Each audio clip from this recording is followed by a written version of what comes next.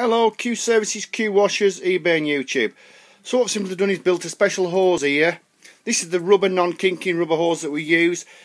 This is being set up for the Nilfisk machine. Now this is for the, the, the machine with the built-in hose reel that's got the straight fitting going into the hose reel itself.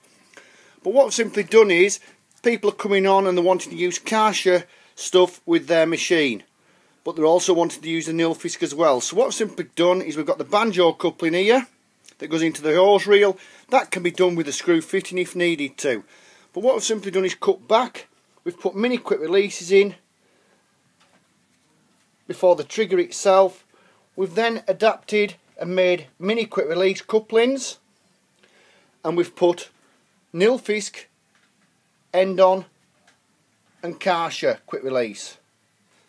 So the machines with the yellow buttons on the Karcher triggers that will simply attach into there and that would attach into your normal Nilfisk. So you can use either. Say you wanted to use the extension lance of a Karcher, you could use this system and this will let you to use both your normal gun or your Karcher extension telescopic lances or different systems from the Karcher.